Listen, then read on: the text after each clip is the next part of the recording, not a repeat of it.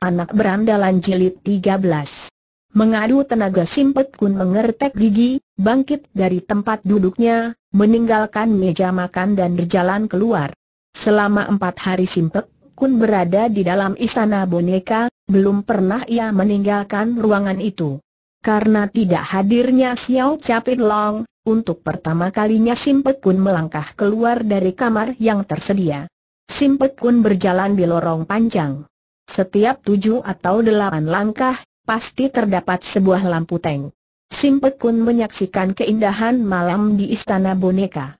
Tiba-tiba mata Simpet Kun terbelalak, di depannya berdiri sesosok tubuh, orang itu sedang bersandar pada pinggiran langkan, tersenyum-senyum ke arahnya. Itulah pendekar tikar terbang yang bermuka bokongan Louis Bie Simpet pun hendak lari ke dalam kamarnya, tapi sudah terlambat. Louis Bie cepat-cepat menghampirinya, dengan tertawa, menyapa Seng Ratu Rimba Persilatan. Di dalam keadaan yang serba canggung, lari pulang ke dalam kamar adalah satu perbuatan yang tidak mempunyai penghormatan. Di bawah sinar cahaya lampu tank, Pipi-pipi Louis Bie yang bopengan itu semakin banyak lubang-lubangnya semakin dalam. Hampir saja Simpet pun muntah di tempat itu, menyaksikan cara caranya kedatangan Louis. Setiap lubang bopengnya itu seperti memperlihatkan wajah yang tertawa. Louis Bie mengirim satu anggukan kepala. Simpet pun membalas anggukan kepala Louis Bie, cepat-cepat menyusup di bawah ketiak Louis Bie, hendak meneruskan perjalanannya, meneruskan usahanya untuk mencari jejak Xiao Capet Long. Hari itu Simpet pun kehilangan Xiao Capet Long. Bagaikan kecepatan kilat, si pendekar tikar terbang Lui Biai menghadang di depan Simpet Kun, dia bertanya, sudah makan sudah? Jawab Simpet Kun singkat. Entah makan malam yang sudah? Entah makan siang yang dijawab, Simpet Kun tidak memberi penjelasan yang lebih terperinci. Louis Bie masih mencumbu rayu, gelarnya sebagai pendekar tikar terbang itu, agak kurang cocok, seharusnya diganti dengan jago pipelicin. Tukang masak hari ini adalah tukang masak baru, berkata Louis Bie. Menurut ceritanya, di dalam rumah makan Liok San Beng dia adalah ahli masak nomor satu. Tentu enak, bukan enak, berkata Simpek pun sembarangan. Louis Bie berkata lagi, istana ini tidak terlalu besar, tapi cukup rumit, kalau tidak ada penunjuk jalan, mudah terperosok dan sesat. Aku tahu, jawab Simpek pun singkat. Lebih baik Nona berhati-hati, agar tidak salah jalan, berkata lagi Louis Bie. Simpek pun menekuk wajahnya dan membentak, siapa yang kau panggil Nona maaf, berkata Louis Bie. Nyonya, Huh Simpet pun mengeluarkan suara dari hidung. Dengan tertawa cengar-cengir, Louis Bie berkata, Nyonya, tahukah kau di mana suamimu kini berada bukan Lian Sempet yang dimaksudkan, tapi Xiao Capet Long. Hati Simpet pun hampir lompat keluar dari tempatnya, memandang si Bopengan, ia bertanya, kau tahu tentu saja tahu, jawab Louis Bie semakin mendekat. Simpet pun mundur dua tapak, Wajahnya semakin masam, ia bertanya. Di mana? Aku sedang berusaha mencarinya, lebih baik jangan dicari berkata Louis Bie tenang. Kalau saja ketemu, pasti terjadi sedikit kesulitan, kesulitan bertanya Simpet Kun. Louis Bie semakin cengar-cengir, ia berkata, haruskah menceritakan jalan gerakan-gerakan itu secara mendetail maksudmu berkata Simpet Kun. Suamimu itu sedang menggumuli wanita lain, Bohong, Simpet pun berteriak. Louis Bie berkata, seperti apa yang kau tahu, di dalam istana boneka terdapat nona-nona cantik, umurnya masih muda belia, dan biasanya tidak suka kesepian, suamimu itu juga mempunyai wajah yang tidak jelek, tentunya, Simpet pun mendelikan mata, hatinya semakin panas. Wah, haha, Louis Bie tertawa. Nyonya memang memiliki kecantikan yang tiada cara, tapi laki-laki yang setiap hari dijejal dengan sayur asam, sudah pasti menjadi bosan, ingin merasakan sesuatu yang, Simpet pun juga sudah tidak bisa menahan kesabarannya, dengan suara keras ia membentak, Stop! Jangan kau ngaco belo, tidak percaya berkata Louis Bie. Mau ku ajak melihat. Gadis itu tidak secantikmu, tapi dia lebih muda. Modal wanita adalah muda, setiap wanita muda pasti bisa mencocoki selera laki-laki, Simpet pun semakin marah, badannya gemetaran. Louis Biye berkata lagi, dengarlah anjuranku, tidak perlu terlalu pusing. Di dalam istana boneka, kita banyak mendapat kebebasan. Untuk care-care yang seperti ini, sudah biasa dan lazim, sama saja seperti bagaimana kita makan nasi, berganti sayur, suamimu bisa mencari wanita lain, mengapa kau tidak mau makan laki-laki baru? Kita sama-sama mencari kesenangan, bukan? Sama-sama bersenang, maka hati kita pun bebas leluasa, kedua mata Louis Bie sudah disipitkan, seperti menjadi satu garis, ia menjulurkan tangan, hendak menarik Simpet Kun. Simpet Kun mundur ke belakang. Hayo, berkata Louis Bie. Jangan malu-malu. Hal itu pasti terjadi, lambat atau cepat, kau bisa merasakan keenakannya, daripada tidur dengan orang lain, lebih baik. Simpet Kun tidak bisa mendengar lebih lama lagi, tangannya terayun, pang, satu tempilingan telah menampar pipi Louis Bie yang bopengan. Louis Bie mendapat gelar pendekar tikar terbang, satu bukti bahwa kecepatan kakinya melebihi orang, gesit, dan cekatan. Tapi gerakan Simpet pun lebih cepat lagi, hal ini berada di luar dugaan, di saat ia hendak mengelak, tamparan itu sudah mengenai pipinya. Memegang dagingnya yang merasa panas itu, Louis Bie mundur dua langkah, matanya mendelik, danda membentak, Bah! Tidak tahu diuntung, Sesudah berada di tempat ini, kau masih berani berpura-pura, huh? Jangan harap bisa lari dari tanganku, setapak demi setapak Lui Biai mendekati Simpek Kun. Simpek Kun membentak, berhenti.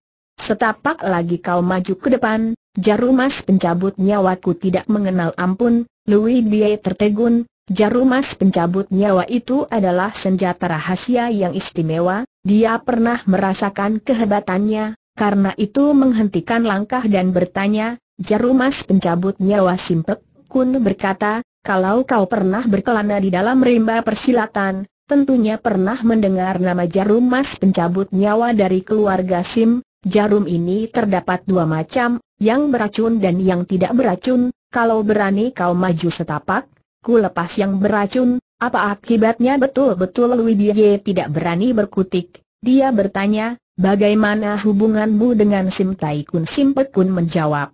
Aku adalah cucu perempuannya, aaaa, sesudah mengucapkan kata-kata tadi, secepat itu pula Sim Pek lari ke belakang, kembali ke dalam kamarnya. Bang! Dia menutup dan menggabrukan pintu. Tersengal-sengal Sim Pek Kun berdiri di balik pintu kamarnya. Dia takut kalau Louis Bie itu menerjang masuk. Si pendekar tikar terbang Louis Bie sudah dibuat mati kutu, nama jarum mas pencabut nyawa sangat menyeramkan, dia tidak berani menerjang. Simpet pun menyandarkan dirinya di balik pintu. Berdengung kata-kata Louis Bie yang sangat menusuk hati, gadis di sini, masih muda belia, gadis muda adalah modal, gadis muda bisa lebih mencocoki pria, suamimu mencari wanita lain. Kata-kata itu sangat menusuk hati Simpet Kun. Xiao Capet Long bukanlah suaminya, tapi entah bagaimana, rasa tadi tidak bisa diterima. Kalau betul Xiao Capet Long menggumuli gadis di tempat itu, hati Simpet Kun seperti dipilin-pilin, sangat sakit dan sedih. Mengapa hal ini bisa terjadi? Dimisalkan dia tahu kalau Lian Sempet menggumuli wanita lain, rasanya juga tidak seperti ini. Sedangkan Lian Sempek itu adalah suaminya. Tiba-tiba Simpek Kun berteriak, bohong. Aku tidak percaya. Bohong, aku tidak percaya, tidak mungkin Xiao Capit Long, tapi ke mana kepergian Xiao Capit Long? Mengapa dia tidak kembali? Bayangan-bayangan seram inilah yang mengekang dan menekan batin Simpek Kun. Di manakah Xiao Capit Long? Pecah kepala Simpek Kun memikirkan problem itu. Di dalam istana boneka, terdapat 30 gadis remaja, mereka cantik-cantik dan menarik, semua orang gemar tertawa. Dari ketiga puluh gadis-gadis muda di dalam istana boneka, sebagian besar sangat senang kepada Xiao Capit Long, mereka sering tertawa kepada Xiao Capit Long. Dari sekian banyak gadis-gadis yang berada di dalam istana boneka, hanya seorang yang tidak pernah tertawa kepada Xiao Capit Long, belum pernah ia menatap kepada Xiao Capit Long. Nama gadis itu adalah Soyan. Di saat Simpek Kun ubek-ubekan mencari jejak Xiao Capit Long, tentu saja tidak berhasil, karena Xiao Capit Long sedang berada di kamar Soyan. Xiao Capit Long sedang terbaring di tempat tidur Soyan. Xiao Capit Long sedang terbaring, memperhatikan langit-langit kamar itu. Kepala Soyan ditengkurapkan ke dada yang bidang dan lebar. Metu Xiao Capit Long dirempangkan besar-besar. Metu Soyan dikatupkan, bulu-bulu matanya yang panjang, merengguti kulit Xiao Capit Long. Dengan bulu matu yang dimiliki oleh Soyan, kalau saja ia membuka matanya pasti lebih menarik, wanita mempunyai tanda-tanda yang tertentu pada sepasang mata, hanya satu kerlingan, satu lirikan, ia bisa memikat dan menarik kaum laki-laki. Bukan mata Soyan saja yang menarik, sepasang betisnya pun memikat. Dadanya lebih memikat lagi. Soyan mempunyai ukuran yang normal, tubuhnya padat, seperti disertai dengan gairah yang kuat, lekukan-lekukan menurut pesanan ideal, tidak terlalu montok, juga tidak terlalu kurus. Di dalam kamar itu sangat sepi, mereka sedang berdekap-dekapan. Di saat ini terdengar suara Soyan yang mengikik. Suara tertawa wanita bukan satu macam, tertawa geli, tertawa riang, tertawa genit, tertawa merayu. Sekarang Soyan sedang perdengarkan tertawanya yang bersifat merayu. Kebanyakan wanita bisa tersenyum, bisa tertawa, maka dia cepat memikat hati laki-laki. Ada juga yang menggunakan kerlingan matanya tertawa, lebih memikat hati lagi. Ada yang menggunakan akal tertawa, ada yang menggunakan hidung tertawa, dan inilah care-care, tertawa istimewa. Ada lagi kaum wanita yang lebih aneh, seluruh kulit tubuhnya itu bisa mengeluarkan suara tertawa. Dengan aneka macam tertawa, lebih memikat dan lebih menarik, mereka menggunakan dadanya bergoyang-goyang, mereka menggunakan pinggulnya yang disenggol-senggol dan mengangkat kakinya mengangkang, menggapaikan tangan impian. Kalau bertemu dengan wanita, wanita type seperti ini, mana mungkin laki-laki tidak jatuh menyembah di bawahnya. Soyan termasuk type wanita yang seperti ini. Dadanya tersembal sembul, pinggangnya bergoyang, kakinya menggesek-gesek Xiao Capit Long. Sangat merangsang. Xiao Capit Long juga terbuat dari darah daging, birahinya mulai bergelora, ia tidak sanggup bertahan lagi, hai, hai, hai, Soyan tertawa lagi. Berkumandang di seluruh isi kamar. Xiao Capit Long menatap gadis itu dan bertanya, apa yang kau tertawakan kau sangat licik, berkata Soyan. Mengapa bertanya Xiao Capit Long? Kau menuding jari-jari hingga mengenai hidung Xiao Capit Long, Soyan tertawa. Kau memiliki istri yang begitu cantik, tapi masih keluyuran di waktu malam, keluyuran ke dalam kamarmu, berkata Xiao Capet Long. Kau tidak bisa berbuat pendiam? Aku adalah laki-laki yang jujur, lagi-lagi Soyan tertawa ngikik, berkata, ada ungkapan yang membuat contoh laki-laki adalah teko, wanita adalah cangkirnya, satu teko bisa mengisi beberapa cangkir, Luar biasa memuji Xiao Capet Long. Perumpamaan yang luar biasa. Siapa yang bercerita tentang ini tentu saja cerita orang laki-laki, berkata Soyan. Banyak laki-laki yang kau kenal tidak sebanyak wanita yang kau kenal, berkata Soyan. Aku heran, begitu banyak wanita di tempat ini, mengapa hanya memilih aku seorang dengan tertawa Xiao Capet Long berkata, setiap orang yang rakus, tentu memilih buah yang paling enak untuk dimakan, ha, ha, aku bukan buah, tapi kau bisa dimakan, berkata Xiao Capet Long. Hai, hai, ha, ha, aku heran, belum pernah aku mengirim kerlingan metu kepadamu. Belum pernah menggoda dirimu, bagaimana kau tahu? Kalau aku juga bisa digait Xiao Capet Long berkata, wanita yang menyembunyikan perasaannya lebih mudah diajak naik ke tempat tidur, semakin mudah diajak berjalan, care-care ini lebih mudah dimengerti oleh laki-laki, apalagi, wanita yang berada di dalam istana boneka. Tidak menunggu ucapan Xiao Capit Long selesai, Soyan menggabruk-gabrukan tangannya, memukul Xiao Capit Long dan berkata, kau jahat. Jahat, siapa yang jahat, kau? Kau kira aku mudah dipikat laki-laki biasa? Huh! Beberapa kali Louis Bie hendak menyeret diriku, selalu ku tolak mentah-mentah, hampir dia gila penasaran, karena tidak mendapatkanku. Begitu kulihat mukanya yang bopengan, darahku sudah naik ke otak, ha, ha, Xiao Capit Long tertawa. Bopengan juga ada bagusnya, di antara sepuluh wanita, sembilan di antaranya lebih suka laki-laki bopengan, apalagi sesudah lampu dimatikan, Pok. Soyan menampar perlahan, dengan tertawa ia berkata, Hei, kau juga laki-laki bergajul, kukira hanya Louis Bie seorang yang jahat, tidak taunya ada. Yang lebih genit darinya, Xiao Capet Long berkata, kecuali pendekar kuda sembrani Liong Kui, Kukira tidak ada laki-laki yang tidak genit, ya, Soyan membenarkan kata-kata Xiao Capet Long. Tidak ada laki-laki yang tidak genit, bagaimana dengan keadaannya dua kakek tukang main catur itu bertanya Xiao Capet Long. Kecuali bermain catur, kukira dia tidak memiliki hobi kepada wanita, Soyan memonyongkan mulutnya dan berkata, salah. Dua kakek bangkotan itu lebih suka daripada laki-laki lain, mereka masih mempunyai rangsangan yang kuat. Kecuali gadis yang disekap oleh Chung Chu, tidak ada gadis yang tidak pernah dijamah oleh mereka, Chung Chu adalah panggilan untuk Raja Boneka. Termasuk kedua istri si pendekar tikar terbang Louis Brie bertanya Xiao Capet Long. Kedua cabul itu lebih genit lagi, mereka yang mengantarkan diri. Memang maunya apa Louis Brie tidak mengajukan protes hal itu dianggap sebagai makanan biasa? Apa Louis Brie tidak pernah memberitahu keadaannya, ia senang memberikan istri-istrinya kepada orang, mungkinkah kau tidak pernah ditawari? Aku tidak percaya, oh, sepintas lalu, Louis Brie tampaknya sangat galak. Tapi menghadapi kedua kakek bangkotan itu, ia betul-betul mati kutu, tidak berani mendongakkan kepala sedikit pun, Xiao Capet Long berkata, siapa yang tidak kenal kepada pendekar tikar terbang Louis Bie, mengapa dia juga takut orang mendapat pertanyaan ini, Soyan bungkam. Tidak bicara. Xiao Capet Long bertanya lagi, mungkinkah ilmu kepandaian kedua kakek itu sangat hebat?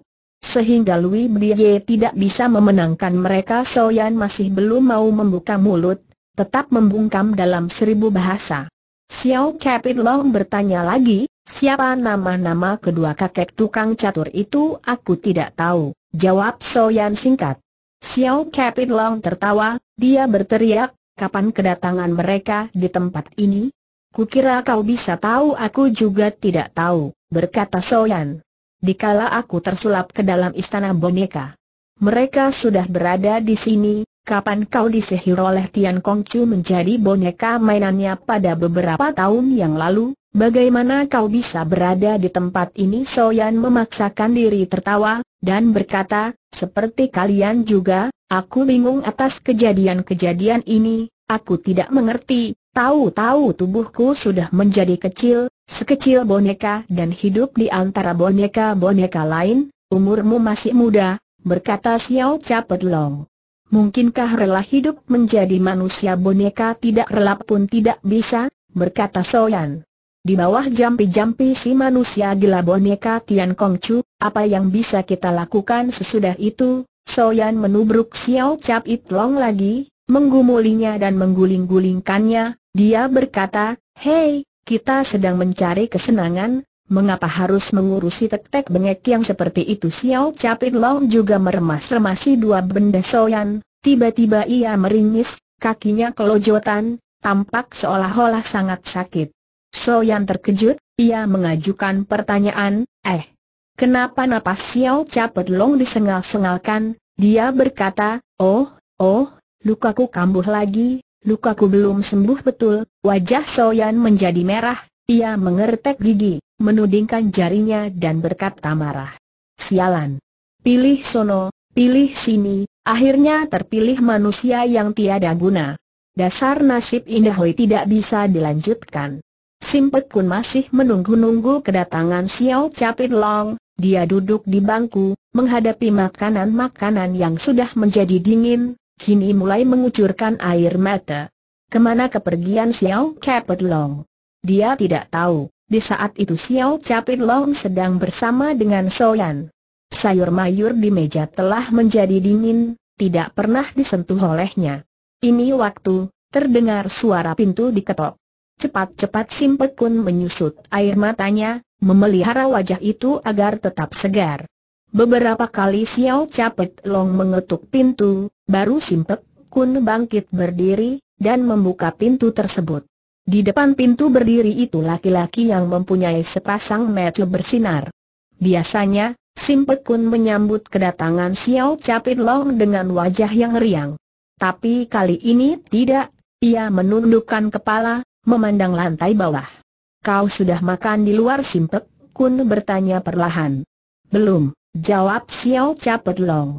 Eh, kau juga belum makan?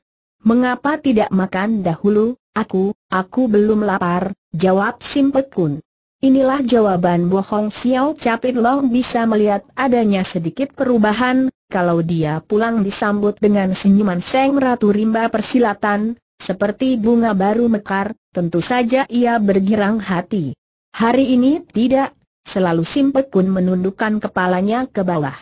Tanpa memandang Xiao Capit Long, Simpek Kun mengambilkan nasi, perlahan-lahan diletakkannya di depan Xiao Capit Long. Dia berkata, sayur-sayur ini sudah dingin, makanlah seadanya, sayur-sayur dari daerah utara, paling disenangi olehmu, Xiao Capit Long bisa merasakan adanya kehangatan rumah tangga, ia hidup dalam keadaan yang ajaib, di dalam istana boneka. Tapi turut sertanya Simpek Kun di tempat ini membuat ia tidak begitu kesepian Simpek Kun juga mengambil nasi, sangat sedikit, duduk di sebelahnya Xiao Capit Long, dan makan perlahan-lahan. Perut Xiao Capit Long juga sudah terasa lapar, ia melahap makanan. Tiba-tiba timbul perasaan bersalah, Xiao Capet Long mendapat firasat kurang baik, adanya perubahan atas Simpek Kun tentu telah terjadi sesuatu. Keadaan Xiao Capet Long tidak beda jauh dengan keadaan Seng suami yang menyeleweng di luar, di saat ia kembali di rumah, dan mendapat pelayanan yang baik dari istri itu, tanpa teguran, tanpa omelan, tentu saja dia sangat bersalah dan merasa menyesal. Akhirnya Xiao Capet Long membuka mulut, ia berkata, selama beberapa hari ini, aku telah memeriksa seluruh ruangan-ruangan yang berada di dalam istana boneka, oh, Simpek Kun memberikan jawaban singkat. Xiao Capit Long berkata lagi, kukira ruangan yang ada lebih daripada 28 ruangan, paling sedikit ada 30 ruangan, tapi ubek-ubekan ku cari ke sana kemari, belum berhasil menemukan dua ruangan yang tersembunyi, Simpek Kun masih terdiam, perlahan-lahan meletakkan sumpitnya dan berkata, di sini banyak anak gadis muda, gadis-gadis itu lebih pandai bicara, mulutnya gampang nyerocos, mengapa kau tidak bertanya kepada mereka? Nah, Xiao Capit Long mengerti, apa yang menyebabkan kemarahan Simpek Kun. Ternyata terlalu banyaknya gadis-gadis muda yang berada di dalam istana boneka. Ternyata Simpek Kun cemburu. Cemburu karena ia tidak pulang makan malam. Seorang laki-laki bisa menjadi bangga, karena memiliki istri yang bisa mengutarakan rasa cemburunya. Demikian juga Xiao Capit Long, dia bangga atas prestasi yang dicapai olehnya, ternyata Simpek Kun menaruh sedikit cemburu. Inilah perasaan yang belum pernah dirasakan selama seumur hidupnya.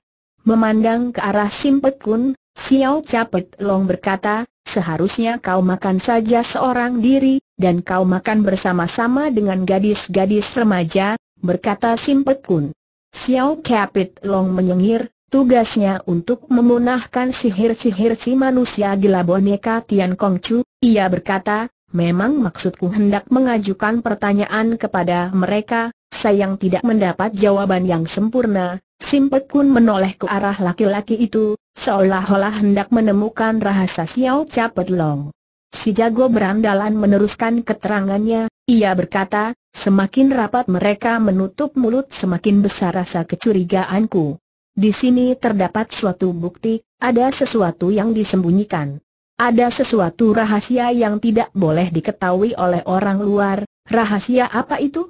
Kalau saja aku bisa menduga, kita bisa bebas dari istana boneka, Simpet Kun bertanya perlahan, kau masih hendak mengajukan pertanyaan kepada mereka Xiao Capet Long menatap wajah ratu cantik itu dan berkata, kukira sudah cukup, kepala Simpet Kun ditundukkan ke bawah, semakin rendah, tapi mulutnya asam cemberut, kini mulai tampak menjadi cerah. Sedapat mungkin Simpet Kun menahan rasa girang itu, tapi tidak bisa dibendung akhirnya ia pun tertawa. Melihat senyum dan tawa Simpet Kun, Perut Xiao Capit Long bertambah lapar, dilahapnya santapan tersebut, ia makan sampai banyak. Gadis muda remaja sudah kutanyakan, ia berkata. Esok hari, giliran bertanya kepada si kakek tua, Simpet Kun tertawa cerah dan berkata, Kukira, kukira kau bisa pulang lebih pagi, terasa selembar muka Simpet Kun menjadi merah jengah, ia malu atas perhatian yang berlebih-lebihan itu. Kalau rasa cemburu seorang wanita terlalu dibesar-besarkan, sang laki bisa menjadi pusing kepala. Demikian keadaan Xiao Capit Long, ditambah lagi cemburu Simpet Kun, dia bisa merasakan kesulitan itu. Tanpa cemburu sama sekali, laki-laki itu bisa kehilangan sendi pegangan hidupnya. Hari berikutnya, udara cerah, matahari terang benderang. Xiao Capit Long berjalan-jalan, ia mendekati taman, kini diperhatikannya daerah ini. Pertama-tama yang menarik perhatian Xiao Capit Long adalah bangunan tembok yang tinggi, tembok itu tidak bisa dijangkau oleh susunan tumpuk enam orang. Pintu tembok yang terbuka, hari ini sudah dikunci dan diselot. Siapa yang mengunci pintu itu? Mengapa? Di dalam metisi manusia gila boneka Tian Kongcu, boneka-boneka hidup ini terlalu kecil, Dimisalkan berani lari dengan dua kali langkah dengan hanya menekan jempolnya saja, dia bisa memencet mampus. Mengapa harus membuat penjagaan yang begitu ketat? Mengapa harus membangun tembok yang begitu tinggi? Mengapa harus mengunci pintu istana dengan rapat? Tampak sekilas senyuman Xiao Capit Long, dia sudah bisa memecahkan sebagian dari rahasia itu. Kini ia harus menemukan fakta dua yang lebih baik. Entah mulai saat kapan, kedua kakek catur sudah berada di tempat gardu permainan. Mereka meminum arak dan bermain catur lagi. Perlahan-lahan, dengan menggendong kedua tangan di belakang, Xiao Capet Long mendekati kedua kakek pemain catur itu. Orang tua berbaju coklat dan orang tua berbaju hijau sedang menekunkan permainan mereka, seperti tidak tahu kalau ada sesuatu yang dating. Angin berhembus perlahan, Air mengalir dengan tenang. Sikapnya kedua orang tersebut juga sangat tenang. Di saat Xiao Capit Long sudah dekat dengan orang dua itu, seolah-olah ada sesuatu yang mengandung hawa pembunuhan, seperti mendekati dua bilah pisau yang keluar dari kerangkanya. Tajam. Setiap senjata bagus memiliki cahaya tajam, dan disertai juga dengan hawa pembunuhan. Tokoh-tokoh silat yang berilmu kepandaian tinggi, sudah biasa membunuh orang. Karena itu menyelujuri dirinya juga terdapat hawa pembunuhan.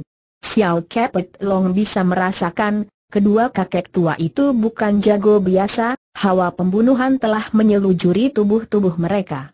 Itulah hawa maut.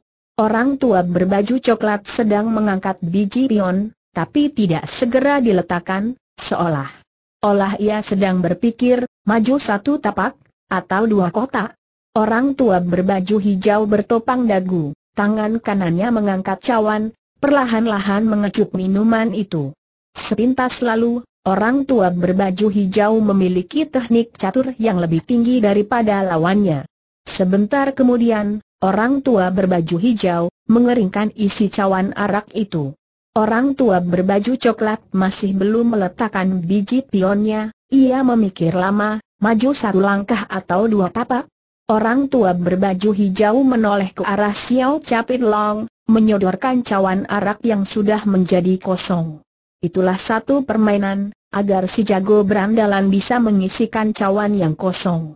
Xiao Capit Long dibudak jongoskan. Pada meja tidak jauh dari mereka terdapat satu poci arak, tapi arak itu masih terisi penuh. Xiao Capit Long memandang ke arah poci arak dan memandang ke arah sodoran tangan si kakek berbaju hijau. Hanya berpikir, aku bukan budak kalian. Mengapa harus menerima perintah kalau orang lain yang menghadapi situasi yang seperti itu, mungkin ia memaki kalang kabutan, atau menggibrik-gibrikan badan, berjalan dan ngeloyor pergi. Xiao Capit Long memiliki kesabaran yang luar biasa, tanpa kemarahan, ia mengambil poci arak, menjujukan mulut poci ke arah cawan, dengan maksud menuangkan arak kepada si kakek berbaju hijau. Kalau saja ia memiringkan sedikit poci itu, pasti arak mengucur keluar dari tempatnya, memenuhi cawan si orang tua berbaju hijau. Tapi di saat itu, Tubuh Xiao Capet Lang tidak bergerak. Seolah-olah dia tersihir, menjadi patung batu. Tangan orang tua berbaju hijau juga tetap tersodor, menunggu datangnya tuangan arak itu. Xiao Capet Long masih tidak bergerak, dengan poci di tangannya, juga tidak bisa menuangkan keluar arak. Orang tua berbaju coklat yang memegang biji catur juga membeku, belum meletakkan biji catur itu di atas papan. Ketiga orang tadi seperti kena disihir, mereka masing-masing membeku, seolah-olah sudah ditakdirkan menjadi boneka mati. Dari boneka hidup, mereka seperti hendak menjadi boneka asli. Boneka yang tidak bisa bergerak. Matahari mengelusur ke tengah, dan berada tepat di atas kepala mereka. Kedua kakek tua pemain catur dan Xiao Capet Long masih tidak bergerak, mereka membawakan sikap yang seperti tadi. Bayangan mereka yang panjang akhirnya memendek, karena matahari sudah berada di atas kepala. Masih belum ada seorang yang mulai bergerak. Matahari condong ke arah barat, maka tiga bayangan itu pun sudah bergeser memanjang ke arah timur. Sangat aneh bin ajaib, hanya sedikit tuangan saja, hanya sedikit dorongan tangan, seharusnya Xiao Capet Long bisa menuangkan isi arak. Dan tangan itu begitu berat, tidak berhasil digerakkan olehnya. Tiga jam lagi telah berlalu. Tangan Xiao Capit Long seperti menjadi batu, tidak bisa digerakkan. Sikapnya orang tua berbaju hijau sangat tenang, bibirnya yang tersungging senyuman ewa itu memperhatikan perubahan, kini ia menjadi heran atas ketekunan dan kekuatan Xiao Capit Long. Agaknya orang tua berbaju hijau sudah mulai kehilangan sabar. Orang tua berbaju hijau tidak bisa menyelami isi hati Xiao Capit Long, rasa kagetnya Xiao Capit Long lebih hebat sepuluh kali lipat dari rasa kagetnya orang tua pemain catur itu. Peci arak di tangan Xiao Capit Long semakin lama semakin memberat, seolah-olah menjadi sebuah bongkah batu yang besar. Tangan Xiao Capit Long mulai kesemutan, rasa kesemutan itu mulai menjalar terus sehingga naik ke atas pundak. Keringat mengucur membasahi tubuh Xiao Capit Long, itulah pertandingan mengadu kekuatan tenaga dalam. Xiao Capit Long masih menggigit bibir, ia mempertahankan kekuatannya, hendak menguji kekuatan dari orang tua-tua yang selalu main catur itu. Biar bagaimana Xiao Capit Long harus mempertahankan kedudukannya yang pertama, ia tidak boleh bergerak, bergerak adalah kematian. Jiwa Xiao Capit Long sudah berada di ujung maut. Mereka tidak menggunakan pedang, tanpa teriakan dan pekikan, masing-masing membeku, seolah-olah betul-betul boneka mati, tidak bergerak, tapi ujian-ujian lebih hebat dari pertandingan yang bagaimana besar pun juga. Kalau saja arak di poci Xiao Capit Long bisa meletus, keluar dari tempatnya, walau hanya sedikit Pasti darah Xiao Capet Long tersembur dari sumber-sumber urat nadinya. Inilah pertandingan tenaga dalam, pertandingan kekuatan iman, pertandingan kondisi badan, dan pertandingan kesabaran. Pertandingan besar yang tidak terlihat kebesarannya. Pertandingan hebat yang tidak tampak kehebatannya. Pertandingan itu sudah berlangsung satu hari, hari menjadi maghrib, kini kegelapan mengarungi suasana pertandingan masih berlangsung terus. Di dalam istana boneka, semua orang hanya mementingkan kepentingan sendiri. Egoistis. Tidak ada yang mengambil sikap peduli, bagaimana akhir pertandingan, dalam keadaan yang seperti itu. Malam terpanjang keadaan betul-betul menjadi gelap, gelap mengarungi jagat. Di ruangan-ruangan dari seluruh isi istana boneka telah dipasang penerangan, lampu-lampu bercahaya. Memang cahaya penerangan itu tidak bisa disamakan dengan cahaya matahari, agak redup dan kurang menarik. Tapi cukup memikat. Di lorong-lorong, samar-samar tampak juga lampu-lampu tank yang baru disundut. Tertojos oleh cahaya-cahaya dari penerangan-penerangan itu, wajah orang tua berbaju hijau berkeriput. Dagingnya yang pucat pasti semakin menyeramkan, seolah-olah rangkai hidup. Apa jadinya? Kalau seorang boneka hidup mati? Mencair? Membeku? Atau membesar kembali menjadi manusia yang normal? Xiao Capit Long belum bisa menjangkau pikiran sejauh itu, karena dia yakin, ia sedang di dalam suatu rencana tipu muslihat yang luar biasa. Tangan Xiao Capit Long juga gemetaran, dia menyesal atas terjadinya pertandingan tenaga dalam itu. Sebelumnya, ia tidak bisa mengira-ngira, bagaimana kekuatan tenaga kedua kakek yang duduk di atas papan catur itu. Sebab ia kurang yakin, maka dijajalnya juga. Kini betul-betul terbukti, Dugaannya tidak salah lagi. Kedua kekek yang kerjanya main catur siang malam itulah tokoh-tokoh ternama di zaman silam. Jago-jago silat yang bisa bertahan sehingga sampai tiga zaman. Mana mungkin ia memenangkan pertandingan itu aja si kakek berbaju hijau yang pucat pasti masih membeku, tiada tampak ada darah di tempat itu. Xiao Capit Long sudah hampir tidak sanggup bertahan, ada niatan untuk melepaskan tangannya, tapi dengan cara-cara yang seperti itu, berarti mencari kematian, jiwanya akan putus segera. Orang tua yang berbaju coklat yang memegang biji catur turut membeku, dari pagi sehingga malam itu, dia tidak pernah meletakkan biji caturnya. Kini dia menoleh, bergerak dan tersenyum sebentar, dia bukan boneka, dia hidup biji caturnya yang hendak ditaruh di papan catur dibatalkan, diarahkan ke arah poci dan menyambit. Bruk, bijaar. Biji catur itu memecahkan poci arak. Maka menyelesaikan pertandingan Xiao Capit Long dengan orang tua berbaju hijau. Xiao Capit Long mundur ke belakang, napasnya sengal-sengal. Karena pecahnya poci arak, maka cairan benda keras itu kini meleleh, memenuhi cawan si orang tua berbaju hijau. Orang tua berbaju hijau juga bergerak, menarik tangan yang sudah disodorkan lama, tanpa menoleh ke arah Xiao Capit Long, kini dia menenggak arak itu. Seolah-olah tidak terjadi sesuatu yang menegangkan. Orang tua berbaju coklat menggapaikan tangan, menyedot kembali biji caturnya. Kini biji catur itu diletakkan di atas papan. Ini juga termasuk demonstrasi mengadu kekuatan tenaga dalam yang hebat. Awas dia memberi peringatan kepada lawan. Orang tua berbaju hijau mengganti pusat perhatiannya, dicurahkan ke arah papan catur, dan menyambung permainan catur yang terhenti. Kedua kakek aneh bertemu dengan Xiao Capit Long yang aneh. Sesudah mereka mengukur kekuatan tenaga dalam, ternyata kekuatan itu seimbang.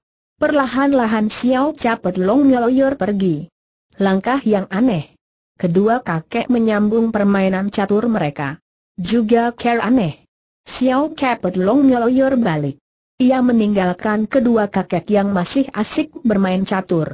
Dia heran, dengan alasan apa, kedua jago silat itu ganti haluan. Dengan alasan apa, bermain catur pagi, siang dan malam? Ia menginjakan kakinya di lorong istana boneka. Xiao Capit Long nyaris dari jurang kematian. Ia berjalan dengan langkah ringan, melewati lampu-lampu gantung yang dipasang di lorong-lorong istana. Ternyata hidup itu mempunyai daya magnet yang hebat. Sanubarinya hidup mendapat berkah Tuhan. Sebelum melakukan pertandingan duel maut, Xiao Capet Lang tidak menyangka kalau kekuatan hidup seseorang itu sangat penting sekali. Ilmu silatnya tinggi, otaknya cerdas, penilaiannya tepat, karena itu, belum pernah Xiao Capit Long mengalami krisis-krisis maut. Yang terakhir, ia masuk ke dalam istana boneka. Mengadu tenaga dalam dengan orang tua berbaju hijau tadi. Baru kini ia sadar, bahwa ilmu kepandaiannya itu juga terbatas, masih ada jago yang berada di atas dirinya. Di dalam hal ini, ia hanya menduduki jago silat super kuat, belum berarti jago silat super sakti tanpa tandingan. Ia nyaris dari kematian, dan hidup kembali.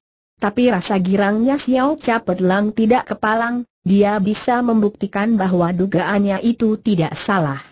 Mengelus-elus tangannya, Xiao Capet Long menuju ke arah kamar yang sudah ditunjuk, kamar di dalam istana boneka. Sayur sudah dingin, terngiang suara Simpet Kun. Pasti ia mendapat tomelan lagi. Xiao Capit Long mempercepat langkahnya, menuju ke arah pintu. Hari ini adalah hari yang terhebat untuk dirinya, biar bagaimana, dia berhasil melewatkan hari krisis. Akhirnya ia berhasil menemukan sesuatu yang hebat. Seluruh tulang-tulangnya masih terasa sakit dan ngilu karena adanya adu pertandingan tenaga dalam tadi. Hati Xiao Capit Long sangat girang, ia harus cepat-cepat pulang, menangsal perut, menenggak arak, melewati hari, tidur sehingga besok. Besok. Ya. Besok. Besok akan terjadi sesuatu yang lebih hebat. Xiao Capit Long membongkar perdukunan si manusia gila boneka Tian Kong Chu. Xiao Capit Long sudah berada di depan pintu. Pintu masih tertutup. Tentu Simpek pun menunggunya dengan hati tidak sabar. Xiao Capit Long berpikir, ku harap saja ia tidak menyangka yang bukan-bukan, karena adanya drama di kemarin hari, karena adanya urusan Soyan, tentu Xiao Capit Long merasa bersalah. Ia takut kalau Simpek pun itu bercembetut pula, menyalahkan dirinya yang menemui gadis-gadis muda. Perlahan-lahan Xiao Capit Long mendorong pintu, dengan harapan bisa mendapat penyambutan Simpek Kun yang meriah, disambut oleh wajah Simpek Kun yang mekar bagaikan bunga. Xiao Capit Long belum tahu, apa yang sudah terjadi di balik pintu. Apakah yang sudah terjadi? Kalau saja Xiao Capit Long tahu, tidak mungkin dia berani mendorong pintu ruangan itu. Di meja kamar, capcai, buyung hai, paklai dan makanan-makanan lain-lainnya telah tersedia, tidak ketinggalan juga arak di meja. Tukang masak yang memasak makanan ini adalah tukang masak daerah Tiong Chiu yang ternama. Sayur sudah dingin. Di depan makanan tersebut, duduk di sebuah kursi, sesuatu bayangan yang sedang menunggu. Tapi orang itu seperti patung, itulah penghuni istana boneka yang ternama, dia menyebut dirinya sebagai Raja Boneka. Lampu di dalam kamar itu tidak dinyalakan. Penerangan-penerangan dari luar kamar mencorot masuk, membuat satu pemandangan yang redup. Raja boneka duduk di depan meja makan, begitu misterius, sulit diduga, ia tidak bergerak, seolah-olah hantu, atau setan gentayangan, atau juga ia sudah menjadi boneka mati. Pada dinding tembok, tergantung gambar-gambar. Sepasang mata raja boneka menatap gambar-gambar itu. Di saat Xiao Capet Long melangkahkan kakinya memasuki ruangan, hati si Raja Boneka seperti tenggelam. Begitu juga hati Xiao Capit Long hampir terlompat keluar dari kerangka mulutnya. Ia sudah menemukan sesuatu bayanan yang tidak baik, mendapat firasat yang sangat buruk. Seolah-olah seekor serigala yang mengendus bau manusia, mengendus adanya bahaya, keadaan menegang. Xiao Capit Long menahan gerak kakinya. Xiao Capit Long menatap ke arah Raja Boneka itu. Raja Boneka sedang membelakangi Xiao Capit Long, ia dapat menangkap derap langkah. Kaku orang yang ditunggu, tapi ia tidak menolehkan kepalanya. Xiao Capit Long menjadi ragu-ragu, tapi ia harus mengatasi persoalan ini, perlahan-lahan ia duduk di depan orang itu. Xiao Capit Long mengambil putusan yang tepat, dia tidak mau mengajukan pertanyaan, sebelum mengetahui jelas maksud tujuan dari Raja Boneka. Perubahan apa yang sudah terjadi? Mengapa Simpet Kun tidak berada di dalam kamar itu? Boneka dua hidup. Raja Boneka juga diam, tidak bergerak. Menutup mata dan mengunci mulutnya. Keadaan semakin menedang. Xiao Lang tidak biasa dengan keadaan yang seperti itu, setelah mengalami pertempuran terus-menerus selama satu hari, ia merasa bahagia, dia menuangkan arak, diteguknya cepat. Raja boneka juga mengambil cawan arak, mengisi penuh dan meminum. Kedua orang itu saling pandang memandang. Akhirnya Raja boneka mulai menggerakkan mulut. Ia tertawa sebentar dan berkata, hari ini kau lelah sekali. Masih untung, berkata Xiao Capet Long. Menempur mereka, sama saja artinya dengan membentur maut, tidak peduli caranya bagaimana, keadaannya sama saja, sangat meletihkan diri, beruntung aku nyaris lolos dari ancaman maut, berkata Xiao Capet Long. Mata Raja Boneka berkilat-kilat, itulah mati manusia biasa, memandang Xiao Capet Long, mengajukan pertanyaan, sesudah melakukan duel yang seperti tadi, kau bisa mengetahui asal-usulnya kedua orang itu, bukan Xiao Capit Long tertawa tawar, ia berkata, kukira sedari pagi pun aku sudah bisa menduga, siapa adanya kedua orang tua itu, tapi kau masih berani menempur mereka berkata Raja Boneka. Eh, Xiao Capit Long mengeluarkan gerengan perlahan. Ha, ha, Raja Boneka tertawa. Aku memuji keberanianmu. Mari, minum arak, Mari minum Xiao Capet Long menerima toast itu. Sesudah meminum masing-masing araknya, wajah Raja Boneka ditekuk masam-masam, dengan suara yang berat ia bertanya, kecuali yang kau ketahui, berapa banyak rahasia lagi yang kau tahu? Tidak terlalu banyak. Tapi juga tidak sedikit, berkata Xiao Capet Long. Dengan dingin Raja Boneka berkata, kuharap kau tidak mengetahui urusan terlalu banyak. Seseorang yang mengetahui banyak rahasia, jiwanya bisa dirundung kemalangan, maka lebih baik tidak tahu menahu. Xiao Capet Long meletakkan cawan araknya, memeriksa seluruh isi ruangan, dan akhirnya tertancap di wajah Raja Boneka, kini dia mengajukan pertanyaan, di mana dia seolah-olah menjadi orang tolol. Raja Boneka itu bertanya, siapa istriku? Jawab Xiao Capet Long. Ha, ha, Raja Boneka tertawa lagi, tawanya agak aneh. Kemudian dengan perlahan-lahan ia berkata, yang kau maksudkan, Nona Sim itu Xiao Capet Long merasakan dunia berputar, matanya disipitkan, kini tampak kekosongan, lama sekali ia menganggukkan kepala. Membenarkan pertanyaan Raja Boneka. Di saat mereka memasuki istana boneka, Xiao Capet Lang dipaksakan menjadi suami Simpek Kun. Demikian juga di saat memasuki daerah misterius Raja Gila Boneka Tian Kongcu, pelayan Tian Kongcu yang bernama Siok Siok itu selalu mengartikan Simpek Kun dan Xiao Capit Long sebagai suami istri. Simpek Kun dan Xiao Capit Long tidak menyangkal adanya tuduhan-tuduhan itu. Akhirnya rahasia mereka sudah terbuka. Tampak Raja Boneka menatap wajah Xiao Capit Long, dengan sepatah demi sepatah ia bertanya, Betul-betul dia sudah menjadi istri Musiao Capet Lang tidak menjawab pertanyaan itu. Raja Boneka bertanya lagi, sudahkah kau tahu, apa kerjamu apa yang terjadi bertanya Xiao Capet Long. Mengapa tubuhnya begitu lemah, mengapa Simpek Kun begitu lemah bertanya Raja Boneka. Apa yang sudah menimpa dirinya bertanya Xiao Capit Long tegang. Apa yang menyebabkan kelemahannya Raja Boneka tertawa tawar. Ia berkata, menurut perhitungan waktu, beberapa bulan kemudian ia akan segera melahirkan anaknya. Tapi kejadian itu akan segera tidak terjadi. Tidak mungkin bisa terjadi, aaaa, Xiao Capet Long terbelalak, ternyata Simpek Kun mengalami keguguran. Raja boneka memainkan jarinya. Ting, dia menyentil pergi cawan araknya sendiri.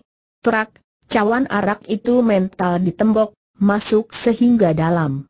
Itulah kekuatan tenaga dalam yang hebat, lebih hebat dari apa yang sudah diperlihatkan oleh si kakek tua berbaju hijau. Metu Xiao Capit Long terbelalak kaget. Memperhatikan gerak-gerik Raja Boneka itu sangat kaku dan dingin, bermalas-malasan, ternyata Raja Boneka ini memiliki ilmu kepandaian silat yang jauh berada di atas dirinya. Belum pernah Xiao Capit Long menemukan tandingan, tapi kini ia menemukan tandingan jauh lebih hebat, ia harus berhati-hati. Menatap dan memperhatikannya beberapa saat, Xiao Capit Long bertanya, di mana kini ia berada Raja Boneka tidak menjawab pertanyaan itu, ia sedang mendemonstrasikan kekuatan tenaga dalam yang hebat. Matanya tertuju pada cawan arak yang sudah memendam dalam tembok. Xiao Capet Long bukanlah seorang manusia penakut, belum pernah ada istilah takut itu di dalam kamus pikirannya. Sekali lagi Xiao Capit Long mengulang pertanyaan, di mana dia berada Raja Boneka berpaling kembali, menatap Xiao Capit Long, sepatah demi sepatah ia berkata, kau lupa kepada suatu hal. Aku adalah Raja Boneka, Raja dari Istana Boneka. Di sini setiap wanita cantik itu hak milikku, tidak pernah ada yang berani melanggar perintah. Raja Boneka tidak menjawab pertanyaan Xiao Capit Long tapi ia memberi terhadap hak monopoli yang berada di dalam Istana Boneka. Xiao Capit Long sudah siap bangkit dari tempat duduknya, tapi ia berusaha menahan rasa kemarahan itu, duduk kembali. Sepasang sinar mata Raja Boneka tertuju ke arah Xiao Capit Long, dan ia bertanya lagi, tahukah arti dari kata Ka tadi kurang begitu mengerti, jawab Xiao Capit Long. Karena akulah yang berkuasa. Ilmu kepandaiankulah yang berkuasa, berkata Raja Boneka. Koma Xiao Capet Long masih menunggu reaksi selanjutnya. Raja Boneka berkata lagi, sedari tadi pagi sudah ku beritahu kepadamu, bahwa di tempat ini tidak ada peraturan, tidak ada tata krama, yang ada hanyalah kebebasan, kebebasan memungut orang dan kebebasan di dalam segala-galanya. Siapa yang kuat, dialah yang berkuasa. Maksudmu, bertanya Xiao Capet Long. Raja Boneka berkata, sesudah kau berada di tempat ini, segala sesuatu harus mengikuti tradisi-tradisi yang ada. Kau harus menurut segala perintah dan kemauanku, Simpek Kun bukan istrimu, ia tidak menjadi hak milik seseorang yang tertentu, siapa yang berkuasa ia berhak untuk mengambil. Aku ingin mengambil dan mengklaim atas kepribadian Simpek Kun, perlahan-lahan, Raja Boneka mengambil cawan arak Xiao Capit Long, cawan arak itu dikemasnya di tangan, perlahan-lahan dikemas pula, digosok-gosok, akhirnya, di saat si Raja Boneka membuka tangan itu, cawan arak yang terbuat dari bahan-bahan keras hancur menjadi bubuk. Lagi-lagi, ia mendemonstrasikan kekuatan tenaga dalamnya. Akulah yang berkuasa, ia berkata. Aku adalah manusia super sakti tanpa tandingan. Xiao Capet Long memperhatikan tangan itu, tangan si Raja Boneka sangat halus, lebih halus daripada tangan wanita, tapi ia memiliki ilmu tenaga dalam yang hebat. Bisa mengkeremus sebuah cawan arak. Hati Xiao Capet Long meringis ia bisa mengukur, ilmu kepandaiannya tidak memiliki kekuatan yang seperti itu. Raja Boneka memperhatikan lawannya yang berada di depan meja itu. Beberapa kali Xiao Capit Long siap bangkit dari tempat duduknya, beberapa kali pula niatan itu dibatalkan. Raja Boneka berkata dengan suara perlahan, inilah letak keistimewaanmu. Kau hebat. Banyak sekali anak dua muda yang sepantaranmu, sesudah mengetahui aku lebih kuat dari mereka, toh masih berani bermain-main, hendak menjajal dan mencoba, tentu saja mereka mengalami kegagalan. Tapi kau sanggup menahan gejolak hatimu, kau bisa menguasai diri sendiri. Kau mempunyai kesabaran yang luar biasa. Maka kau bisa bertahan hidup sehingga sampai saat ini, Xiao Capit Long sedang memikir-mikir, haruskah dia menempur si Raja Silat Super Sakti yang kini berada di depannya? Raja Boneka adalah jago silat super sakti. Siapa nama aslinya? Menempur si Raja Boneka, berarti mencari kematian. Tapi Xiao Capet Lang tidak melepaskan kesempatan untuk bertempur, ia harus menggunakan kepintaran otaknya, setidak-tidaknya mengimbangi kekuatan musuhnya. Karena itu Xiao Capet Long mau mencari jalan. Untuk mencari jalan keluar dari istana boneka adalah usaha yang tidak terlalu sulit, kalau saja kau berhasil menemukan kunci rahasia, kau bisa bebas. Untuk mencari lawan seperti dirimu juga tidak mudah, ku harap saja kau bisa terus-menerus tinggal di sini, ku jadikan lawan pertandingan. Kukira kau tidak bisa mati terlalu cepat, kalau saja kau memiliki kepintaran, kalau saja kau sebagai seorang sangat pintar dan cerdik, kau bisa bertahan terus hidup lama. Hidup lama, Xiao Capet Long menghela napas panjang dan berkata, sayang. Ciri-ciri yang ada pada diriku, ialah kepintaran itu. Aku tidak segoblok seperti apa yang diperkirakan orang, aku tetap berusaha, walau belum tentu berhasil. Apa pun yang terjadi, manusia itu hidup untuk berjuang, belum tentu, berkata Raja Boneka. Tanpa perjuangan, aku bisa hidup lama bukan? Kalau saja kau betul-betul pintar, lebih baik jangan banyak bicara. Lebih baik kau minum arak terus-menerus, maka untuk pembalasan itu, aku bisa memberi jasa-jasa yang tertentu, jasa-jasa tertentu Xiao Capet Long memandang Raja Boneka tersebut. Dengan mesem-mesem Raja Boneka berkata, Soyan. Gadis itu tidak secantik Simpet Kun, tapi beberapa kali ia menang daripada Simpet Kun. Soyan akan kuhadiahkan kepadamu. Huh Xiao Capet Long mengeluarkan suara dari hidung. Raja Boneka berkata, Soyan adalah gadis pilihanmu.